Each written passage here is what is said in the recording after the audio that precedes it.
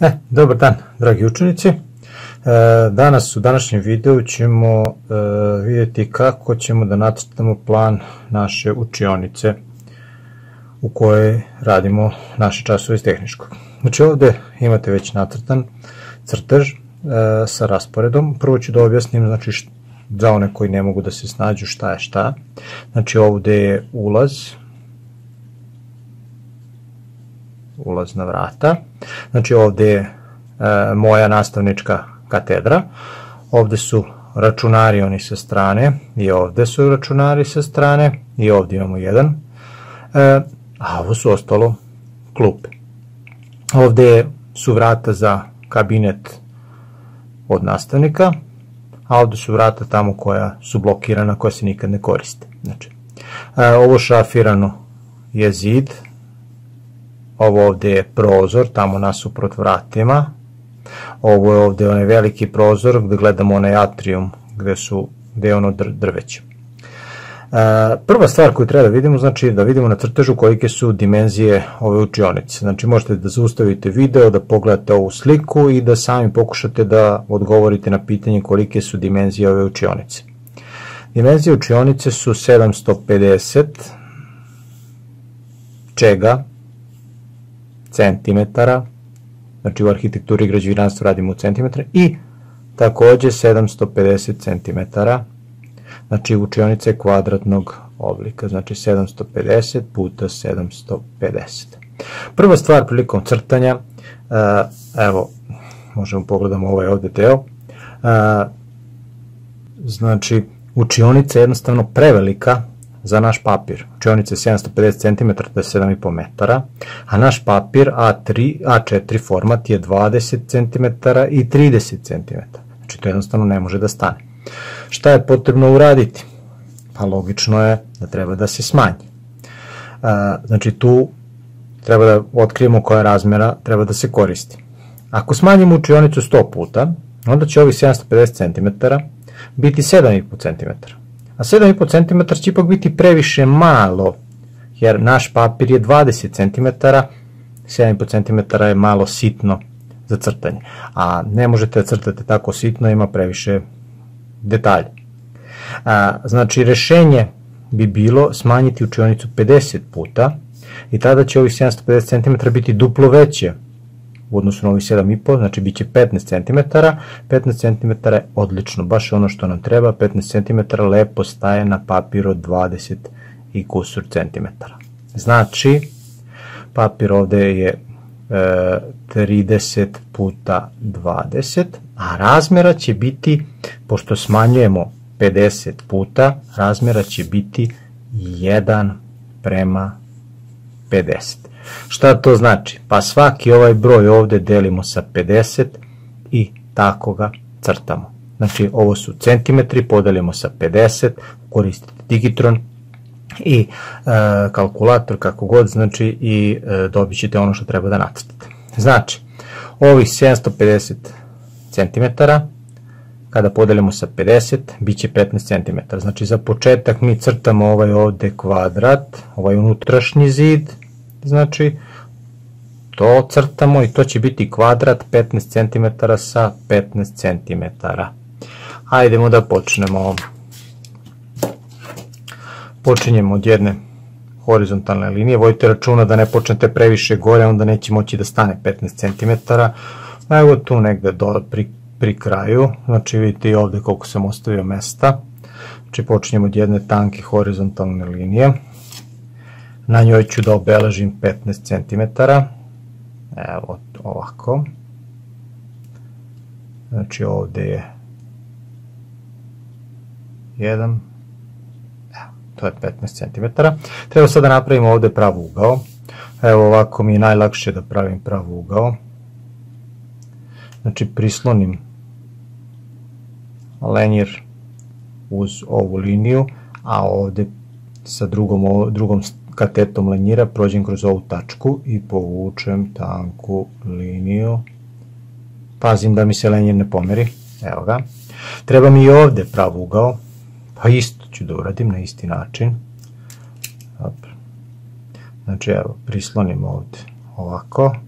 ovde priđemo ovoj tačke, tako, evo ga. E sad ovde mi je ovo malo kratko, moram da produžim. Tako. E sada treba još da napravimo ovde sa strane 15 cm. Budite precizni, nemojte ovako, ovo je 14,9, nemojte ovako, ovo je 15,1, nije problem pogoditi u milimetar. Zašto? Evo ga, ovde je 15 i ovde je 15, tako. Povučem sada ovu liniju.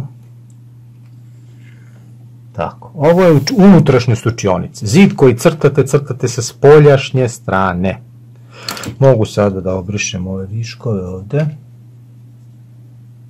Tako.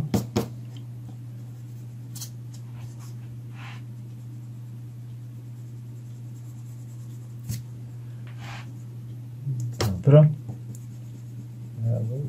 Ovo. E, tako. Obrisao sam viškove. Dobro. E, dobro. Idemo dalje. Sada treba da krenemo da nacrtamo recimo ovu ovde liniju, to je ivica na kojoj su svi ovi stolovi. E, vidite da je ta linija e, u kojoj su ovi stolovi poređeni udaljena 90 cm od ovog zida. Znači ovaj ovde zid, to je ova linija ovde. Znači ovaj zid ovde, to je ova linija ovde. 90 e, cm, kada podelimo sa 50 je 1,8 cm paralelne linije crtamo tako što merimo na jednom kraju 1,8 evo ga. Trudite se da bude ta tačkica što manja. Meni malo smeta telefon koji snima ovo. Evo ga, druga linija i povučemo tu tanku liniju. Evo ovako. Znači sve linije su mi tanke, posle ću da podebljavam ono što mi treba. Sad se vraćamo ovde, ne znam da li vidite, ovo je 65, znači 60 i crtamo sada ove stolove ovde, znači treba da nacrtamo ovu liniju koja je paralelna, znači na, rastojanju 65, znači videli ste ovde, merio sam na jednom mestu, merio sam na drugom mestu, uvek na dva mesta merim. Znači 65 podeljeno sa 50, to je 1,3, znači centimetar i 3 milimetra, Evo ga. Ajde, ovde negde ću. Evo ga. I ovde dole pri kraju. Tako.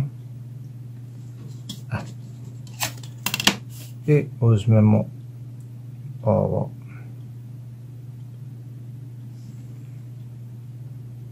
Tako. Evo, to su ovi stolovi, pet komada ih ima. E, To su znači ovi stolovi, pet komada ih ima. Svaki sto je dugačak 130, to su stolovi na kojima su računari. 130 kada podelite sa 50, to je 2,6 cm. I idemo ovde, pravimo 2,6. 2,6 i još 2,6 je 5,2 pa ćemo onda iz početka da ne množimo. 2,6 5,2 i ovaj zadnji sto će biti malo duži. Znači bit će oko 2,8 ali nije važno. E, napravimo ove stolove. Opet neću ovako da crtam ovako to nije paralelno znači služim se sa ovom ovde linijom vidite. Sad ovde mogu već da podebljavam ove stvari. Op, jedna linija Vidite kako nišanim ovo da bude paralelno ovde. Druga linija.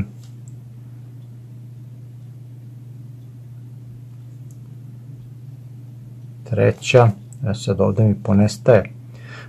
Ne mogu ovo da koristim, ali šta sad mogu da koristim? Vidite ovo, mogu ovu paralelnost da koristim da bi nacrtao da ovu liniju da bude paralelna, da ne bude krivo.